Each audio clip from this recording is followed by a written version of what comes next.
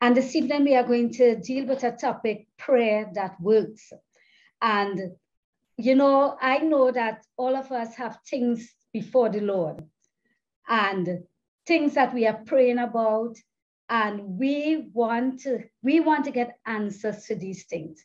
So we want to look at some things. How does prayer work? So I'm going to just share six, six short points this evening. And these points are by no means exhaustive, but I've just chosen six of them that I'm going to share this evening. So the first thing we want to look at is what is prayer. Now, I'm not going to go too much into, into the principles and so on of prayer because we would have already covered that previously. So I'm going to look at some other conditions and so that would make prayer work. So what is prayer? Prayer the most basic definition of prayer is that prayer is communicating with God. So prayer is having is a direct address to God. And as we read the scriptures, we would see that prayer is a very, very dominant theme in scripture. So we want to get our prayer answered. But before we go into, into how we could get our prayer answered, what, what, what are some of the conditions? We want to understand why sometimes, because I know a lot of us, we pray and sometimes we don't get an answer, or why sometimes we don't receive an answer. So we want to look at two points why we do not receive an answer. The first one is found in James 4 2. And James 4 2 says, simple, ye have not because ye ask not. So sometimes we do not get answers because we do not ask. We do not, we do not pray. And that is why we do not get answer. Now, whenever we are looking at a scripture, especially in our private studies and so on, it's important that we look at the context. Looking at the context means looking at the scriptures that surround it to get the understanding. So if we look at James 4, 1 to 3, and I'm not going to read the entire thing, you could take a note of it and you could read it after because it's a very interesting passage. James was talking here to Christian people. And there are three things I want to say about it. What James was saying in, in um, verses 1, 1 to 3 is that, that the people, these believers, they wanted, just like, just like all of us, they wanted a lot of things. And what they were doing is that they were quarreling and fighting among themselves, getting frustrated because they find that they were not getting what it is they wanted. And James said that some of them were even driven to kill. Now, I don't know that the scripture here means that they were actually murdering each other, or if it means that, you know, Jesus said that even if we think hateful thoughts, it come like we murder. So I don't know if that is what they were doing. But the point about it really is that they were doing all of these things in order to try to get what they wanted to get, and yet they refused to pray. That is what James is saying here in verse 2. He have not because he ask not.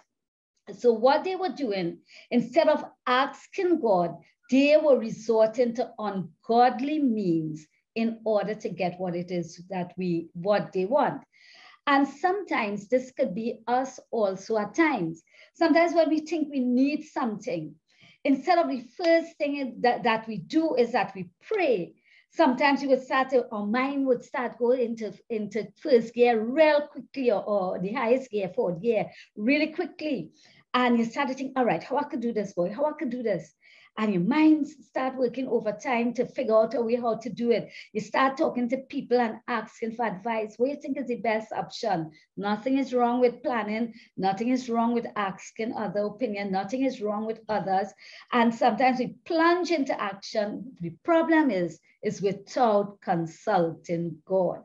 And then what we expect is that God to bless our efforts when we did not even stop to pray. So James here is addressing that issue and he's saying that if there is something that we need, what we have to do is we have to ask, we have to pray. Because you see, prayers unprayed uh, will be prayers unanswered. So prayer will not work unless we actually pray. We will never see the results that answered prayer could bring if we don't pray. And I know this seems to be quite an obvious thing that I'm saying here. But if we examine our lives a lot of times, we just rush into action and we just expect things and we don't take time off to pray. Sometimes, you know, you know, it is not a case, Sarah, Sarah, whatever will be, will be. If we want things to change, we must pray because prayer changes things. We have examples of that in the word of God. And this is very, very, this is a very, very important initial point to note. We must pray. We must ask. If we want things happen in our lives, if we want prayer to, to work, then we must pray in Mark 7. It gives us the account of the Syrian woman who had a demon possessed daughter. This is the one who came to Jesus and asked Jesus to cast out the demon. And Jesus said, Let the children first be filled, for it is not me to take the children's bread and cast it to the dogs, right? You all remember that woman. And when, when, when she's um, eventually she showed faith by, show, by saying, Lord, but you know, the the the um, dogs will eat the scrap that fall out of the master's table. Now, if this woman had not come to God, had not come to Christ, that is equivalent to praying, her daughter would not have been released from that demon possession. What about the blind man outside Jericho? If he did not call out to Christ, he would have remained blind. That is in Luke 18. So God has chosen, the point here is that God has chosen prayer to be the vehicle through which we would obtain answers. And we have not because we do not ask. So if we want answers to pray, we must pray. Let us follow the example of Jesus in Luke 6 12 to 13. When he was going to choose his 12 disciples, Jesus didn't get up and say, All right, let me see, whoever come away, I will choose. He did not do that, you know. What Jesus did, the Bible tells us, is that Jesus spent all night in prayer. He had a major decision to make. He spent, Jesus himself spent all night in prayer. When we have decisions to make, let us not just take it upon ourselves to make the decision, but let us pray about it. What about if we find ourselves in a situation where there might be demonic activity against us, against our families, on our jobs? We know that that is a real thing prayer. You know what Jesus said in Matthew 17, 14 to 21, when his disciples could not cast out the demon out of the boy. And they asked Jesus, well, why couldn't we? In verse 21, Jesus says, Howbeit this kind goeth not out but by prayer, by prayer and fasting. So if we want deliverance from, from, from, from demonic activities, we must pray. What about um, we might be facing temptation, temptation to sin, and we find it is overwhelming and we can't help ourselves. Jesus said in Matthew 26, 41, watch and pray that he enter not into temptation. This is one way to overcome temptation by praying. Also, pray for God to meet our needs. Matthew 6, 11 in the, in the Lord's Prayer. The prayer was, give us this day our daily bread. That is our need.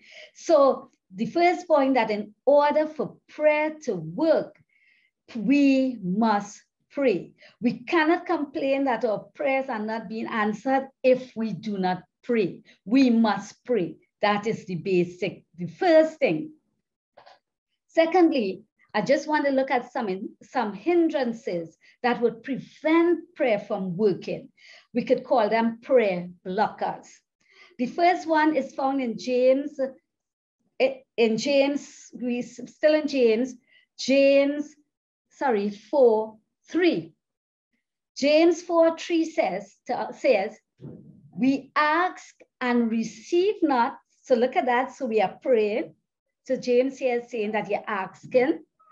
right before he was saying that you didn't ask now, we go on to say, ask and receive not. Why? There's a reason. Because he asks amiss that he may consume it upon your own lust.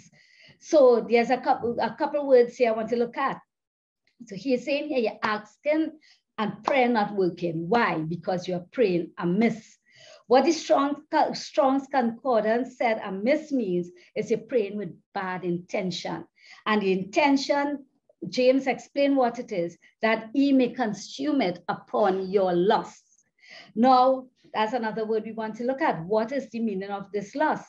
Now, a lot of times when we talk about lust, we only apply it to sensual or immoral things. But really, lust is anything that satisfies your fleshly appetite.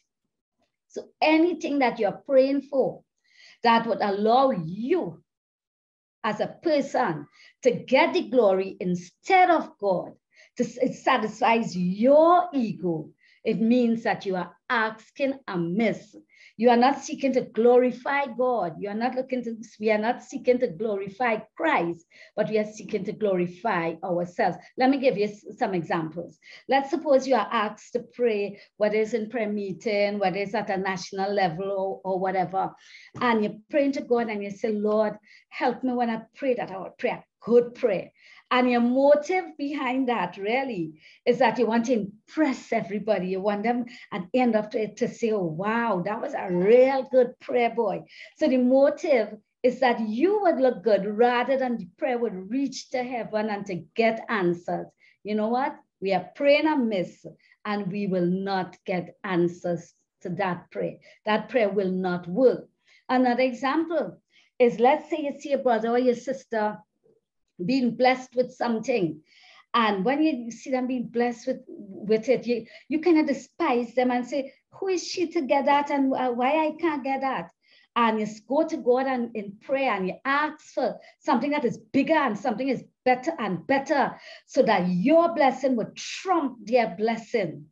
What it is, what is the motive behind that prayer? Yeah, we are being covetous when we are doing that. God will not, that, that prayer will not be answered. We are praying amiss. Or if our hearts and our whole thought and our outlook is weighed down by worldly and, and earthly things, and this is the direction of our prayer, we are praying amiss and God will not answer our prayer. So the point here is that we have to look at the motive the motive, if it's the wrong motive, that will hinder prayer. A second thing that would hinder prayer is unconfessed sin. Isaiah 59 2 says, But your iniquities have separated you and your God, and your sins have hid his face from you, that he will not hear. So sin separates us from God and God will not hear us. You know, it's interesting when you look at social media and so, you see people living all kind of lives, they're cussing everybody, they're doing all kind of wrong things. And then they're praying. And is I don't know what God they're praying to, but what, what I do know is that God will, the Bible says that God will not hear that prayer. So if we are living a lifestyle of sin, prayer will not work. David also says in Psalm 66, 18, if I regard iniquity in my heart, the Lord will not hear me. So if we are planning tomorrow that when we're going to work, we're going to lie and we are going to say something or we're going to cheat and so on, you know what?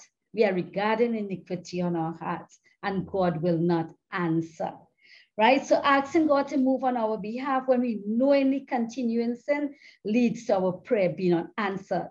Another thing is unforgiveness. That is another, another hindrance to effective prayer.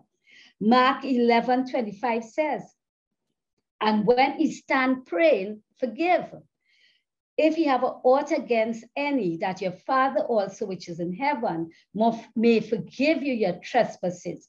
You see, when we refuse to forgive others, what happened? There's a root of bitterness that grows up in our hearts and it chokes, that, that, that root of bitterness chokes our prayer. And how can we expect God to pour our blessing, his blessings upon us and answer all our prayer when we ourselves are undeserving, if we have a hate and bitterness towards others. And this principle is clearly illustrated in the parable of the unforgiven servant in Matthew 18, 23 to 35.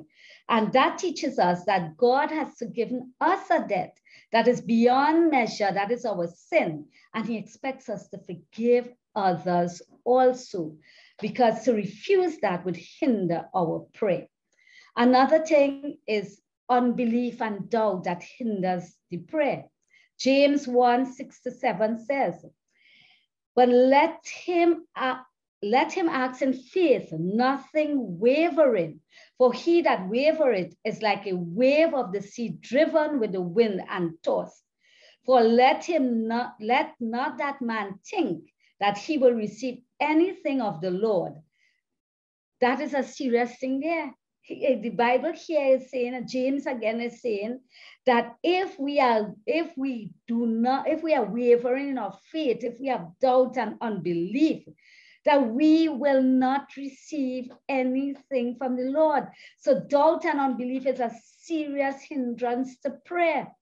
And you know, an, uh, an example of this is in Matthew 13. It tells us that Jesus went into his own country and hear what verse 58 says, Matthew 13, 58. And he did not many mighty works there because of their unbelief. Now, the Bible tells us that Jesus possessed the power to perform mighty miracles. Jesus had the power over sickness, over nature, over material, uh, material objects, over demons and so on, and even over death itself. Yet, the word says that Jesus did not do many miracles in, his country, and the reason was because of their unbelief. So, where if we doubt and if we waver, if, you know, today we believe, and then when we get up in the morning, you know, when we start to think about all these circumstances and so on, we say, nah, I don't know, nah, I, I'm not sure if I believe again. I thought God would do it, and we were wavering back and forth, believing and not believing, having doubt and unbelief, and so on. You know what? The Bible says we will prayer will not work. So what is the remedy for that? How can we solve that? Is an easy thing. The Bible tells us the remedy to doubt and unbelief is faith. And faith comes by hearing the word of God.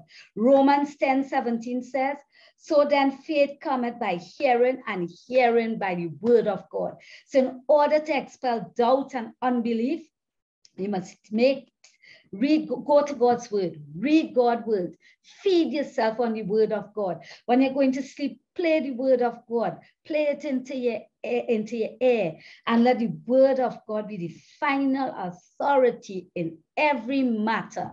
And that way we will get rid of the hindrance in our lives because Matthew 21 22 says, And all things whatsoever he asks in prayer, believing he shall receive. It is important that we believe. So we have looked at two things so far, is that when looking at prayer that works, is that we must ask, we must pray, and we must also avoid the hindrances to effective prayer, that is the wrong motive, sin, unforgiveness, unbelief, and doubt. Let us now look at conditions for prayer to work. We are looking at Matthew 7, 7 to 8. It says, Ask and it shall be given unto you, seek and it shall find, knock and it shall be opened unto you. For everyone that asketh receiveth, and he that seeketh findeth, and to him that knocketh it shall be open. So here Jesus is saying that when you ask, you will receive. When you, when you, when you seek, you will find. When you knock, it shall be open unto you. So I have a question. Is this a blanket promise that with no conditions? Like for example, if you get up in the morning and you find, oh God, this place real hot. Yes, I want some snow. I go in and ask for some snow. Does that mean that God is obligated to just give, give snow, give it to us? Well, that is not what God is saying. That is not what Jesus is saying. Here, we again, we have to look at it in context. This was during the Sermon on the Mount. Right? This Jesus said this during the Sermon on the Mount. And in verse, as we read the other verses, in verse 11, Jesus goes on to give us a condition for asking and receiving. Hear what he says. If ye then being evil know how to give good gifts unto your children, how much more shall your Father which is in heaven give good things to them that ask him? So one condition to asking and receiving is that we must, what we ask for must be good in God's assessment. You see, God will give beneficial gifts to his children.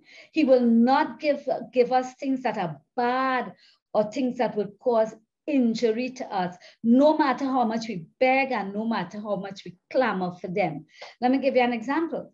If a child, if a child should ask his father for something that the father know is hurtful, like let me say the child is playing in the yard or something, and see a, and see a, a pretty coral snake on the other side of the fence, and he asks his father, want that to play with. Would the father give that to him? The child wants it, but you know what? The father knows that that is going is that is not good for him. So the father will not give him. Or if they're doing some work in the in the uh, around the place and the child want to play with a chainsaw, chainsaw and ask the father for that, will he give him? No. The request would be denied because it is not good for him. So no matter how frustrated or unhappy the child might be, what happened? The child has to learn to trust his father, his or her father. Same thing with us. We have to learn to trust God, that God is going to give us the things that are good for us. Let me give you an example. You know, it might be that you it might be that you're praying for something that is bad. Eh? You might be praying for a, um, a job in a particular company and God knows that if you get a job in that company, it's going to take you away, take you away from the presence of God, take you away from the, the services. It's going to take you away from, from the influence, godly influence, and place you into in a ungodly influence and your salvation and so on is going to be at stake. And God might say, No, that is not, I have something else lined up for you. That is not good for you. And because God gives us what is good for us. You know, in Second Corinthians 12, Paul pray, prayed three times that God would heal him from an affliction, but each time God said no. Why would a loving God refuse to help to heal Paul? Because God had something better for him, and that is a life lived by grace Second Corinthians 12, 9 says, My grace is sufficient for thee, for my strength is made perfect in weakness. And when Paul understood that, he stopped praying for healing and he began to rejoice in God's strength being made perfect in his weakness. So if we want our prayer to work, if we want our prayer to be effective, we must understand what is good for us according to God's standards. And that is what we must ask for. Now, the natural man, we mind, we in ourselves, we cannot understand what is good, wouldn't necessarily understand what is good for us, you know. But you know what? God has given us the ability. God has given us a, an agent in Romans 8 26. He says, likewise, the Spirit, the Spirit of, of God, also helpeth our infirmities, for we do not know what we should pray uh, for as we ought. But the Spirit itself maketh intercessions for us with groanings which cannot be uttered. So we go to God in prayer and rely on the Holy Spirit and say, Holy Spirit, help me to pray in line with what God considers to be good for me. And when we go to God in prayer, admit that God is greater and God knows better. And in every situation, that God knows what is best for us. And like the child, trust God that he knows what is best for us. So that is our third point. So the first one, we must pray, avoid the hindrances to effective prayer, and ask for what is good in God's assess in God's assessment. Not what we see as good, but what God sees as good. Fourthly, Romans 14, 14 says, if he asks anything in my name, I will do it. So the next condition for prayer that works is asking in the name of Jesus. We must pray in the name of Jesus. So, you know, when we hear people praying and, and, and they say in the name of Jesus, that is biblical because Jesus says, if you ask anything in my name, I will do it. And to pray in the name of Jesus means to pray on the basis of Jesus's authority. Now, I don't know how much of you would remember this, but long time, you know, you'll have the shopkeeper and so on. And we didn't have all these big groceries and so on. So in each village, you'll have a, a shop and you'll have the shopkeeper and the shopkeeper will normally have a copybook and and people in the village, he would know all the people in the village would have like a running account with him, with him. So you go, you, you get your groceries and so on, then when you get pay, you come and, and pay and so on. And this copybook would have each customer's account, so the name of your mom, your dad, whatever, and how much that was owed. And what would happen is sometimes a customer, he may not go himself to make a purchase in the shop. He might send one of his children. The children would go and say, well, Mr. Ali sent me. And the, the shopkeeper, he knew all the children and so on. So he will know that this child is coming, not in the name of himself, but this child is coming in the name of, of, of Mr. Ali. And he will give him whatever and write it down in the book and so on. So they, so the customer so the child would receive whatever it is in the name of the account holder. And coming to God in the name of Jesus is similar to these financial transactions because Jesus holds the account. And we are welcome to come to the Father in the name of Jesus to receive all that we need. And the Father willingly grants our request because of Jesus' standing with him. Now, of course, if we are asking something that is contrary to the character of Jesus, then we cannot expect to get something like that. But you see, a lot of times, too often, we pray, and sometimes we pray weak prayers because our eyes are upon the impossible situation, when in reality, God has invited us to pray in the powerful name of Jesus because the God of the universe, the victorious Savior, He is standing there on our behalf in strength and his and power. And his name is a strong, a strong tower and a, and a fortress that the forces of darkness cannot withstand. He can do anything. So let us, if we want our prayer to work, let us pray in the name of Jesus upon the authority of the name of Jesus, that is in the name of Jesus, because in the name of Jesus, every sickness has to go, every need would be met, every, every demon has to flee in the name of Jesus. So this is not a magic formula, you know, that, that, you know, just say in the name of Jesus. We have to understand it and we have to be in Christ. We have to be found in Christ so that we have the authority to use the name of Jesus. So that is the fourth thing that we that we are learning. Pray in the name of Jesus. And fifthly, and I'm going along quickly because I have two more to share, is that we pray according to his will.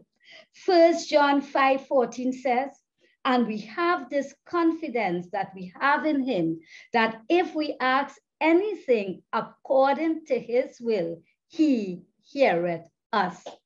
Prayer will work when we pray for the things that are in agreement with God's word. And a good example, or the supreme example, I should say, of this is when Jesus prayed in the Garden of Gethsemane. He said, Lord, if it be possible, let this cup pass from me. But in Luke 22 42, he says, Not my will, but thy will be done. That is the principle he was teaching. Principle he was teaching us is when we pray, we must align our desire to God's will. Now, how can we know what is God's will? One of the ways that we can know God's will is, of course, the Holy Spirit. Another one that, as I mentioned before, ask God for the wisdom. James 1 5 says, if any of you lack wisdom, let him ask of God that giveth to all men liberally and upbraideth not, and it shall be given to him. And this works when we ask God for wisdom, it works. Let me quickly give you an example. Before the pandemic, I had a decision to make, and I would have asked a couple people, including Pastor V, to pray concerning it, um, whether I should do a particular thing or not. And you know, I, I felt as God was saying that no, don't don't do that as yet. Don't do that right now, or don't do it. And it turned out the pandemic came, and the pan- and when the pandemic came, I understood what was the will of God when the pandemic came, and I thank God for giving me that wisdom not to do what I was really, really planning to do. So when we ask God for the wisdom concerning his will, God gives us the wisdom. This is quite similar to the point before by that God gives us what is good for us. Because you see, God knows the future. God could see the God could see everything that is going to happen. And He knows. And you, we could pray and ask God for the wisdom of what His will in every situation is. And He will answer. Another place to go is in the Word of God. John 7, 15, 7 says, if ye abide in me and my words abide in you, you will ask what you will and it shall be done unto you. God's will is revealed through the scripture. And the more we understand God's word, the more we read God's word, the more we internalize God's word, the more we would understand what God wants, what is God's will concerning us.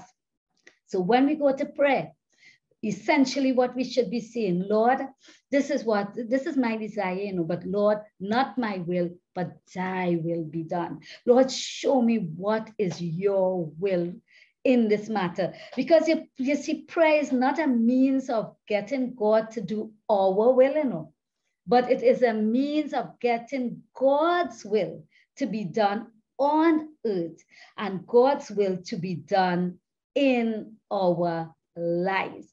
So, you know, if we are praying for something, I, I have had the experience praying for something and asking God and it, and God through circumstances and so on saying, no, this is not my will for you. And sometimes we still pursue after it and run behind it and make it happen. And then we are ever so sorry that we did not stay in God's will. So in order to get prayer that works, the fifth point there is pray according to God's will. And the final point is found in, in 1 Thessalonians 5.17, pray without ceasing. When we engage in prayer concerning any matter, we are not to give up. Jesus related a parable to us with this, this same truth in mind in, in Luke 18, 1 to 5. And he started it by saying, men ought always to pray and not to faint. And he talked about a widow who wanted, who went and complained to a judge. And and she keep going. She was persistent. She keep going at the judge. And the judge said look i really want to do this you know but because this woman is so persistent that i am going to she i am going to give her her request. Well god is not like that judge of, of course but it really is showing the principle of persistence. You see prayer brings us into this into the spiritual, the supernatural realm. And when we pray, God, the enemy don't want God's will to be accomplished in our lives, you know. He don't want God's good to come into our lives. So he's going to try to block it. But you know, Daniel tells us about that. Let us continue praying. Let us be persistent. Let us pray without ceasing. So this is this is effective prayer. Don't stop praying. You know, Matthew 7 7, we already look at it, where it says, ask, seek, knock. This sounds like, like just easy, um, very easy actions. But what Jesus did, the idea behind this is he was saying, be keep persistent, keep asking, continue seeking, don't quit knocking. This is not just a, a, cookbook recipe, you just follow it and the recipe will come out. But our attitude is I'm going to be persistent there in prayer until God answers. Now, God might say no, it's not his will. God might say yes, and I might get it. Or sometimes God would say, wait. And this is where the problem is. Let us be persistent and hold on in prayer when God says to wait. This is the prayer that would work. So, in conclusion, we have looked at six points here. Prayer that works, we must pray, we must ask, we must. Then the second thing is that we must avoid the variance the various hindrances. We must also look for what is good in God's assessment. Pray in the name of Jesus and be persistent in our prayer. And I feel I would have left out one. And, you know, prayer is an important part of a Christian's life. Uh, and our prayer life, we must develop our prayer life because prayer really is plugging into God's power. It is our means of, of defeating the enemy in our life because we are powerless to, to defeat the enemy on our own, you know. So, you know, this evening I want to encourage us that may the throne of God find us, find us often before it, tarrying in prayer, crying out unto God, because God promises promises that the, the effectual, fervent prayer of a righteous man availeth much. So today I want to encourage us, let us not worry about anything. Philippians 4, 6 to 7 says that, don't worry. So instead of worrying, let us pray. Let us commit it into the hands of the Lord. Let us get rid of whatever hindrances that would prevent prayer. Let us get rid of that. Let us pray in the name of Jesus. Let us pray for what is good. Let us pray according to his will. And let us be persistent in prayer. And let us just hold on to God in the name of Jesus. At this time, may God bless you as I hand back over to Sister Donna.